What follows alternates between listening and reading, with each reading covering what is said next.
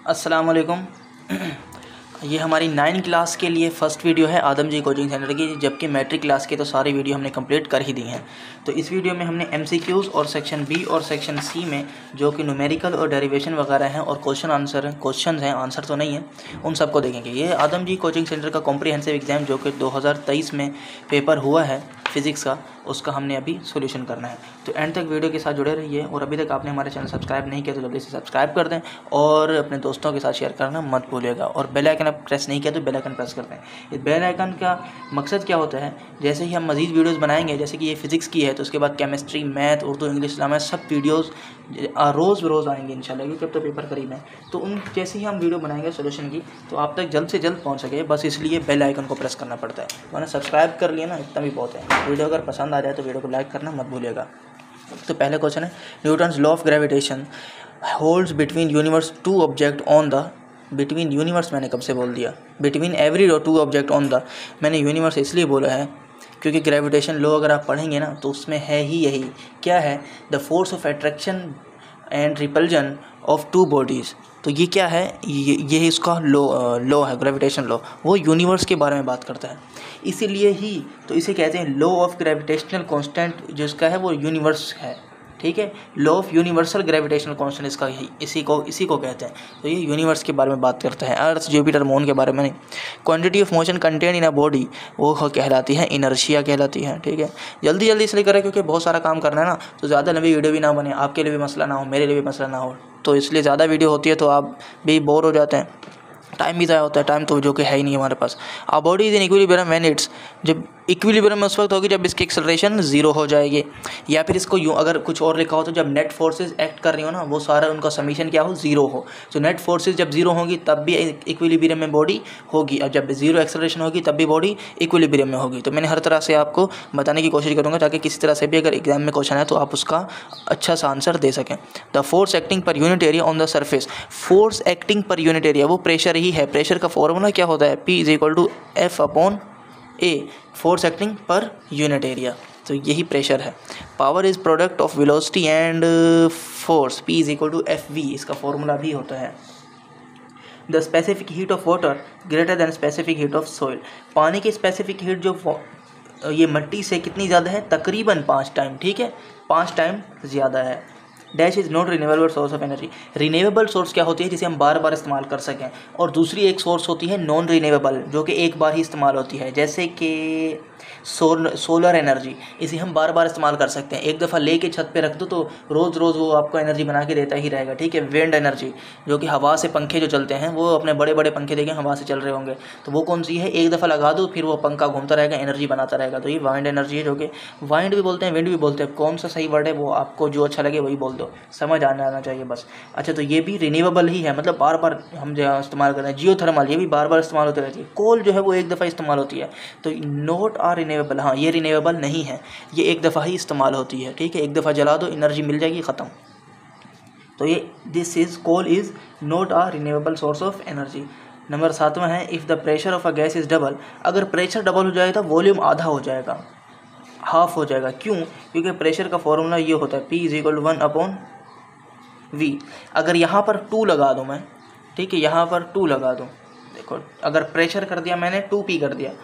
To P कर दूँ, देखो प्रेशर की जगह मैंने टू पी कर दिया तो वॉल्यूम कितना हो जाएगा? वॉल्यूम आप यहाँ से अलग कर लो। वी को वहाँ जो है टू पी को यहाँ ले जाओ वी को यहाँ और टू पी को यहाँ। क्योंकि जिसको अलग करना हो ना, हम फाइंड करें तो इसे अलग करना पड़ेगा। ये कितना हो गया, देखो वन अपॉइंट टू हो गया ना। वन अपॉइंट टू क्या होता है? वन अपॉइंट टू हाफ़ होता है। तो बस हाफ़ हो गया। वन मेगा मीटर मेगा होता है टेन की पावर सिक्स मिली होता है थ्री टेन की पावर थ्री नैनो होता है टेन की पावर नाइन और ये क्या है? पीको है। तो ये टेन की पावर ट्वेल्व कहलाते हैं, कहते हैं इसे। The least count of micrometer screw gauge least count millimetre zero point zero one millimetre इसका लीस्ट काउंट होता है। लेकिन ये तो ज़ीरो पॉइंट वन है अच्छा। सेंटीमीटर में ये पूछ रहा है तो सेंटीमीटर ये है zero point zero zero one centimetre, और अगर मिलीमीटर में पूछता है तो zero point zero one millimetre, ठीक है? मिलीमीटर में ये इसका आंसर है, सेंटीमीटर में ये आंसर है तो दोनों में आपको याद होने चाहिए, क्योंकि यहाँ पर अगर सेंटीमीटर आ रहा है तो हो सकता है एग्ज़ाम में मिलीमीटर पूछ ले, ठीक है? ये क्या है? Nine eight zero one zero है सिग्निफिकेंट फिगर अच्छा इसमें कितना सिग्निफिकेंट है? सिग्निफिकेंट का जो पहला, दूसरा, जो भी चार, पाँच उसके रूल हैं, उसमें कहलाते हैं कि जो ज़ीरो होते हैं ना, वो शुरू में आए, आखिर में वो निगलेक्ट हो जाते हैं। तो आखिरी ज़ीरो हम नहीं गिनेंगे, बीच में ज़ीरो अगर आ रहा है तो उसे गिना जाएगा। देखो, एक, दो, तीन, चार तो इसमें चार सिग्निफिकेंट फिगर हैं। The distance covered by a body in a specific direction called ये वेलोसिटी की डेफिनेशन ही है। ठीक है भाई प्लीज़ टर्न ओवर तो पेज को हम टर्न करते हैं। तो इसमें न्यूमेरिकल देख हैं क्वेश्चन आंसर को देख हैं मैं जूम कर लूँ थोड़ा सा क्या क्या है भाई? Define physics write the name of any two branches of physics पहला क्वेश्चन तो फिजिक्स है। फिजिक्स की physics the branch of science that is with the interaction between matter and energy तो फिजिक्स होगी उसकी दो ब्रांचों के नाम बता देना। कोई भी दो ब्रांच के नाम बता दें। Write three difference between mass and weight के दरमियान तीन डिफरेंस आकार। अच्छा यहाँ से न्यूमेरिकल शुरू हो रहा है। ये न्यूमेरिकल है। ये और ये नहीं है न्यूमेरिकल ठीक है? ये न्यूमेरिकल तो नहीं है, ठीक है, ये न्यूमेरिकल नहीं है। आगे के आ गार्डनर ये न्यूमेरिकल है। डिफाइन ग्रेविटेशनल फोर्स ठीक है। स्टेट अच्छा। जो न्यूमेरिकल नहीं है, वो तो देख लें क्या है। Draft formula for work done when applied force makes an angle theta with the horizontal surface displacement body through distance D metre यहाँ पर W is equal to F D cos theta W is equal to F D cos theta ये वाली expression बनानी है W equal to F D work वाली expression इनको बना के दिखानी है, बस डेरिवेशन करनी है, बस। ये तो न्यूमेरिकल है। Define gravitation potential energy and derive equation P is equal to M G H potential energy को डिफाइन करना है और P E is equal to M G H ये डेरिवेशन भी करके दिखनी है। न्यूटन का सेकेंड लॉ और F is equal to M A वाली भी इक्वेशन बनानी है। ये न्यूमेरिकल है। अच्छा define evaporation and write factor four factor which influencing surface vaporation ठीक है भाई इवेपोरेशन वाला क्वेश्चन क्वेश्चन करना है. What is the mass of a solid and wrecking ball ये क्वेश्चन करना है. अच्छा ये यही वाला क्वेश्चन इलेवन ये किसमें आया है मॉडल पेपर में आ, आया हुआ है ठीक है? और क्या describe moment in term of force P is equal to delta P upon F F is equal to delta P upon T ठीक है movement in terms of force करना है. How much work is needed to move a horizontal चाहिए तो numerical है। मैं एक और आपको यहाँ पर बात बता चलूँ कि हमने practical centre Adam ji coaching centre तो कर रहे हैं और मैक के कोचिंग सेंटर और मॉडल पेपर और important M C Qs important numerical important question answer ये सारी वीडियोज़ अपलोड की हुई हैं। इसके साथ अगर आपको और भी करना है ना तो वो आप जाके कर सकते हैं। नीचे प्लेलिस्ट का लिंक भी दे रहा हूँ। वरना आप चैनल की प्लेलिस्ट पे जाएँ। प्लेलिस्ट पे जाना आता है ना आपको? प्लेलिस्ट पर जाएँ। अगर आपको समझ नहीं आ रहा तो मुझे आप कमेंट में लिंक पूछने में, या फिर मैं आपको कमेंट में भी लिंक सेंड कर दूँगा। पहला कमेंट में होगा, वहाँ पर प्रेस करेंगे ना तो टेन क्लास की पूरे मटेरियल के पास पहुँच जाएँगे। हर वीडियो आपको मिल जाएगी वहाँ पर टेन क्लास की सॉरी नाइन क्लास की। हम नाइन क्लास का ही कर रहे हैं ना हाँ नाइन क्लास का ही है, ठीक है? नाइन क्लास की आपको हर चीज़ मिल जाएगी। तो वहाँ पर आप जाके देख सकते हैं। तो इम्पोर्टेंट क्वेश्चन वगैरह सब कुछ वहाँ पर मौजूद है। डेरिवेशन है यहाँ पर सेक्शन सी में देख लीजिए। पहली डेरिवेशन है, बहुत इंपॉर्टेंट डेरिवेशन है। सेकेंड एंड थर्ड हर साल आती हैं। इन दोनों को आप पक्का कर लें, इस साल सेकेंड शायद आने के चांसेस ज़्यादा हैं। अच्छा जी, इन सबको देख लें आप। स्क्रीन ले लें, या फिर आप इनको पढ़ लें। तो हम आगे बढ़ेंगे। तो आपसे वही गुजारिश है कि हम तो आपके लिए जितना हो सकेगा उतनी आपकी मदद करेंगे। लेकिन आपका एक काम ये भी बनता है कि उसके लिए आप हमें सपोर्ट करें ताकि हम भी हमारी हौसला अफजाई हो। तो उसके लिए आप क्या करना पड़ेगा आपको? अगर वीडियो अगर पसंद आ रही है तो वीडियो को लाइक कर दे वरना चैनल को सब्सक्राइब ज़रूर कर दीजिएगा, ठीक है? चलिए भी इसका न्यूमेरिकल की जानब बढ़ते हैं।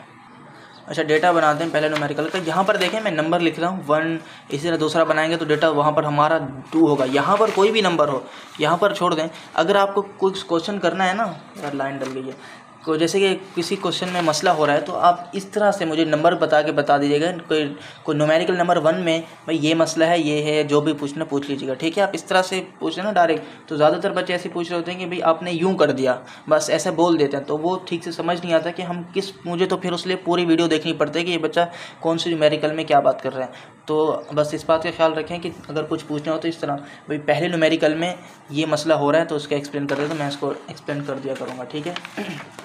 डेटा बनाने a car is running on a circular path of highway radius है। अबाउट थाउज़ेंड मीटर रेडियस यहाँ पर देखें रेडियस कितना है इसका? आर से शो करते हैं हज़ार मीटर है। बहुत बड़ी रोड है भाई। एक हज़ार मीटर का रेडियस है। द मास ऑफ़ कार है छः सौ किलो का वज़न है इस मास का, कार का।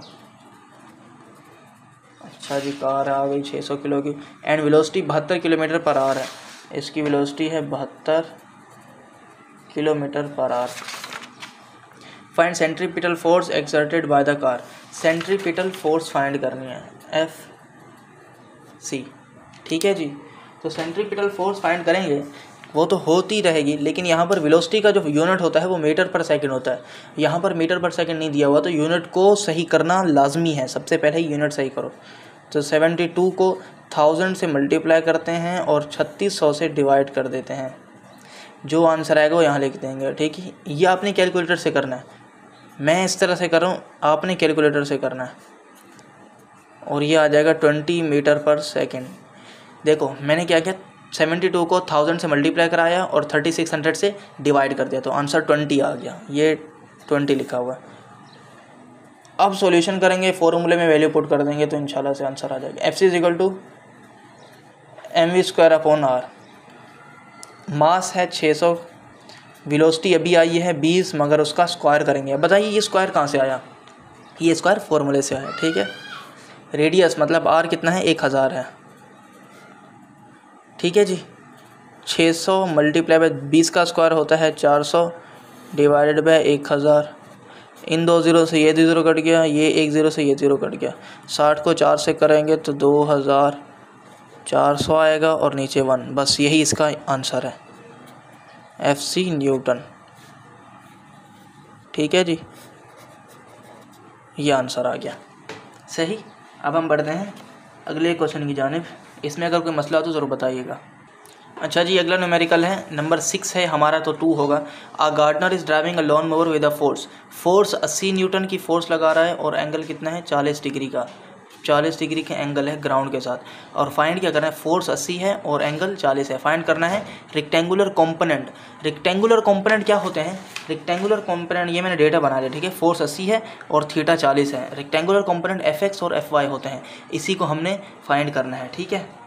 तो एफ़ का यहाँ पर फॉर्मूला लिख देता हूँ मैं। एफ़ एक्स एक्स कॉम्पोनेंट अच्छा रिक्टेंगुलर कॉम्पोनेंट भी इसे कहते हैं और इसे कहते हैं हॉरिजेंटल कॉम्पोनेंट हॉरिजेंटल और इसे कहते हैं वर्टिकल ये भी मैंने लिख दिया। हॉरिजेंटल पूरी एच जेड लिख दिया। हॉरिजेंटल और वर्टिकल हॉरिजेंटल वर्टिकल है तभी आपने एफ़ एक्स और एफ़ वाई फाइंड करना है। रेक्टेंगुलर कॉम्पोनेंट है, तभी आपने एफ़ एक्स और एफ़ वाई ही फाइंड करना है। या फिर आ जाए कि फाइंड इट्स कॉम्पोनेंट्स कॉम्पोनेंट्स आ जाए तब भी आपने यही फाइंड करना है। तो एफ़ एक्स का फॉर्मूला होता है एफ़ कॉस थीटा तो पहले एफ़ एक्स फाइंड कर लेते हैं। एफ़ एक्स आ जाएगा। एफ़ कितना है? एफ़ अस्सी है। कॉस तो कॉस है, मगर थीटा फोर्टी है। इस पूरी वैल्यू को कैलकुलेटर में डालो आंसर आ जाएगा जी।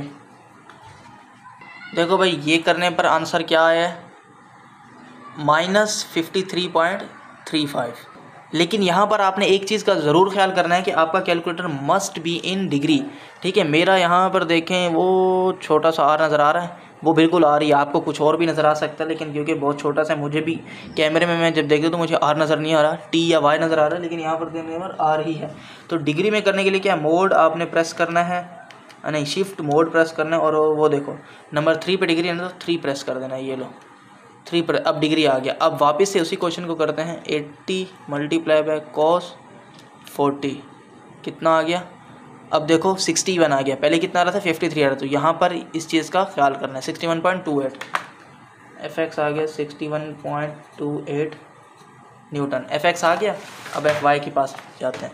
तो एफ़ वाई का क्या फॉर्मूला है? एफ़ साइन थीटा एफ़ अस्सी है। साइन थीटा फोर्टी है। इसको वापस से वैसे ही कैलकुलेटर में डालेंगे। आंसर आ जाएगा। तो ये इसका answer fifty one point four two आ गया, जो कि मैंने वहाँ पर लिख दिया है। तो यहाँ पर भी हमारा क्वेश्चन ही ख़त्म होता है। तो हम तीसरे न्यूमेरिकल के पास बढ़ते हैं। इसमें अगर कोई प्रॉब्लम है, कोई भी कुछ पूछना है तो लाजमी पूछें। ठीक है तो मैं उसका आपको रिप्लाई दे दूँगा। देखिए जी, तीसरा न्यूमेरिकल अब ये आज पैनल वाला क्वेश्चन नंबर नाइन है। ऊपर जो सारे कर लिए देगा स्पैनर ऑफ़ जिसकी लेंथ है ज़ीरो पॉइंट थ्री मीटर इसे हम लेंथ भी बोल सकते हैं, वैसे डी डिस्टेंस भी बोल सकते हैं। तो मैंने इसे डी से शो किया है। ठीक है भाई डी मैंने लिख दिया है ज़ीरो पॉइंट थ्री मीटर इसके बाद इसका है टॉर्क है। तीन सौ न्यूटन मीटर की इसकी टॉर्क है। तो टॉर्क यहाँ पर तीन सौ न्यूटन मीटर लिख दी है। तो इसमें फाइंड क्या करना है? Determine the force applied on it force जो है अप्लाई की गई है, वो हमने डिटरमाइन करनी है। तो फोर्स का फॉर्मूला भी इसमें टॉर्क का वाला फॉर्मूला लगेगा। Tau is equal to F D होता है। वही फॉर्मूले से हमने फोर्स मालूम करिए फोर्स को अलग करने के लिए यहाँ पर डी जो है, इसके साथ मल्टीप्लाई हो रहा है फोर्स के साथ। तो इक्वल टू के उस तरफ़ जाके डिवाइड हो जाएगा। किस तरह से? Tau upon D equal to F ये एरो वाला इक्वल टू उस वक्त यूज़ करते हैं जब आगे भी इक्वल टू हो। उसी लाइन में आगे भी इक्वल का निशान हो ना तो फिर ये एरो वाला लगा देते हैं इक्वल ठीक है? तो इसे हम यूँ लिख देते हैं टॉ टॉ की वैल्यू कितनी है? तीन सौ। और डिस्टेंस कितना है? Zero point three divided by zero point three calculator में डालो तो वैल्यू आ जाएगी तीन सौ को ज़ीरो पॉइंट थ्री से डिवाइड कर दो। तीन सौ divided by zero point three. हज़ार आ गया, ठीक है? एक हज़ार न्यूटन। फोर्स का यूनिट होता है न्यूटन, यही हमारा आंसर है। चलें जी, आसान था, छोटा सा था, हो गया। अगला न्यूमेरिकल क्या है? ये है what is the mass of solid iron wrecking ball mass find करना है जी। ठीक है? मास फाइंड करना है। ये हमारा चौथा न्यूमेरिकल है। मास क्वेश्चन मार्क डाल दो मास का आगे। अच्छा रेडियस है अठारह सेंटीमीटर अट्ठारह सेंटीमीटर का रेडियस है। आगे क्या है? If the density of iron is seven point eight density को रॉ से शो करते हैं। ये जो मैंने बनाया है ना, इसे पी की तरह लिखते हैं, लेकिन पी पूरा नहीं लिखते। थोड़ा सा देखो, मैंने अलग तरीके से लिखा है। इस तरह से लिखते हैं और इसे रॉ पढ़ते हैं। तो ये डेंसिटी का सिंबल है सेवन पॉइंट एट ग्राम पर सी एम सी एम ही था ना? हाँ सी एम क्यूब है। ग्राम पर सेंटीमीटर क्यूब बस, इससे, इसके अलावा और कुछ भी नहीं दिया हुआ। ठीक है? इसी से ही हमने गुजारा करना है। मास फाइंड बिल्कुल हो जाएगा, बहुत ही आसान है, लेकिन उससे पहले थोड़ा सा काम करना पड़ेगा। ये मैं इसका फॉर्मूला बता देता हूँ। मास अपॉन वॉल्यूम होता है। ठीक है? इस फॉर्मूले में वॉल्यूम है। अरे, इस फॉर्मूले में क्या? इस पूरे डेटा में हमें वॉल्यूम नहीं दिया हुआ। तो वॉल्यूम फाइंड करेंगे। तो सबसे पहले ही हम यहाँ लिखेंगे first we find first we will find volume मतलब सबसे पहले हम वॉल्यूम को फाइंड करेंगे। वॉल्यूम की तलाशी जारी है। तो वॉल्यूम को निकालने का पहले फार्मूला ये हम लगाएँगे। पहले क्या? बस वॉल्यूम को निकालने का यही फार्मूला है। पाई आर क्यूब इसीलिए ही ये रेडियस दिया हुआ था वॉल्यूम को फाइंड करने के लिए। तो फोर अप फोर की जगह four four upon three pi की वैल्यू होती है three point one four two और रेडियस अट्ठारह है और उसका क्यूब लगा देंगे, ठीक है जी? अच्छा यहाँ पर हम एक गड़बड़ तो नहीं नहीं, बस सही है, सब कुछ सही जा रहा है। फोर अपॉन थ्री कर दो four upon three multiply by three point one four two multiply अट्ठारह का पावर थ्री कितना आ गया? Two double four three two two double four three two point one nine centimetre cube ये इसका volume इसका यूनिट आ गया। ठीक है जी मैंने सेंटीमीटर क्यों लगाया यहाँ पर? क्योंकि मेरे पास जो रेडियस का वॉल यूनिट था, वो सी में था। अगर रेडियस का यूनिट कोई और होता तो मैं यहाँ पर भी वही यूनिट लगाता। तो लेकिन उसके ऊपर पावर थ्री लगानी ज़रूरी हो जाती वॉल्यूम का यूनिट में क्यूब आता अब क्यूब आ जाता है? अब इस वी को यहाँ पर पोट करेंगे और रो के साथ मल्टीप्लाई कराएँगे तो मास आ जाएगा। अब देखो, मैं इस क्वेश्चन को ना, इस फॉर्मूले को मैं कुछ यूँ लिख सकता हूँ। Mass is equal to rho into V मैंने क्या किया है? मास को यहीं रखा है। वी यहाँ पर डिवाइड हो रहा था, इधर आके मल्टीप्लाई हो गया। ठीक है जी? अब देखो रो कितना था? सेवन पॉइंट एट था। और वॉल्यूम अभी अभी आए हैं two double four two double four okay three two three two point one nine इसे मल्टीप्लाई कराएँगे तो मास आ जाएगा। मैं मल्टीप्लाई करा सेवन पॉइंट एट क्या आ गया? एक सौ नब्बे, पाँच सौ इकहत्तर। एक सौ नब्बे, पाँच सौ इकहत्तर पॉइंट ज़ीरो नाइन क्या आएगा इसका? ग्राम में। ठीक है, और यही हमारा आंसर है। के के जी में करना चाहते हैं ना तो इसको थाउज़ेंड से डिवाइड कर दें तो आंसर के जी में आ जाएगा। लेकिन यहाँ पर कर दें। चलो थाउज़ेंड से डिवाइड करके आंसर के जी में ले आते हैं। ये ग्राम में है ना? फोर इन के जी यहाँ पर भी लिख दो तो अच्छी बात है। के जी में ले आते हैं। One nine five seven one point zero nine divide by thousand तो फिर हो जाएगा, अरे यार, नज़र तो आ नहीं रहा। तो फिर हो जाएगा एक सौ नब्बे इशारे पाँच सात एक के जी ठीक है जी? तो ये इसमें के जी में भी आंसर आ गया। तो बस भाई, हो गया। आप बढ़ते हैं जी, अगला क्वेश्चन जाने जो कि हमारा है। अगला क्या है? पांचवा होगा। Data what is the mass अच्छा ये आखिरी नमेरिकल है। How much work is needed to move horizontally a body twenty metre ठीक है जी, ये डिस्टेंस है। तो डिस्टेंस को किससे शो करें? डी से ही शो कर देते हैं। बीस मीटर का डिस्टेंस आगे क्या है? How much work how much work is needed मतलब कि वर्क को फाइंड करना है। वो बोल रहा है कि कितना वर्क चाहिए होगा एक बॉडी को बीस मीटर मूव करने के लिए। आगे भी कुछ दे रहा है। बाय फोर्स ऑफ़ तीस न्यूटन तीस न्यूटन की फोर्स भी लगा रहा है। आगे the angle between the body and the horizontal surface is sixty degree angle भी दे रहा है, कितना दे रहा है? सिक्सटी डिग्री का एंगल दे रहा है। बस इतना कुछ दे रहा है। इसी में से ही हमें गुजारा करना पड़ेगा। अरे, गुजारा क्या? बहुत कुछ हो जाएगा। वर्क का फॉर्मूला है एफ़ डी कोस थीटा ये देखो यार, यही डेरिवेशन भी थी। यही डेरिवेशन भी करनी है इसमें क्वेश्चन है। क्वेश्चन नंबर फाइव इसका यही है। इसी को प्रूव करके देना है कि ये आती कैसे, आती कहाँ से है? कहाँ से आती है ये? फोर्स कितनी है? तीन से, तीस है। डिस्टेंस बीस है। कॉस कॉस है, मगर थीटा कितना है? अरे थीटा सिक्सटी है भाई। ठीक है थीटा सिक्सटी है। गलती से मैंने इसको भी क्वेश्चन मार्क कर दिया। इन सबको इसमें डालो। Thirty multiply by twenty multiply by cos sixty क्या आ गया? तीन सौ आ गया। लो जी, हो गया। इतना सा ही था। तीन सौ, इसका यूनिट होता है जूल और ये हमारा आंसर है। तो सारे न्यूमेरिकल हमने माशाल्लाह से यहाँ पर कर लिए, पाँच न्यूमेरिकल थे। तो न्यूमेरिकल का काम हो गया, ख़त्म। बाकी देखते हैं सेक्शन सी में क्या है। ये सेक्शन यदि मैंने आपको पहले ही बता था तो यहाँ पर हमारी वीडियो भी ख़त्म होती है, ठीक है? तो नेक्स्ट वीडियो में हमारी कौन सी आएगी?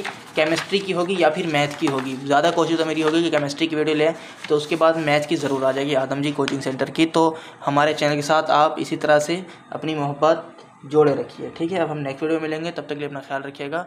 अल्लाह हाफिज़।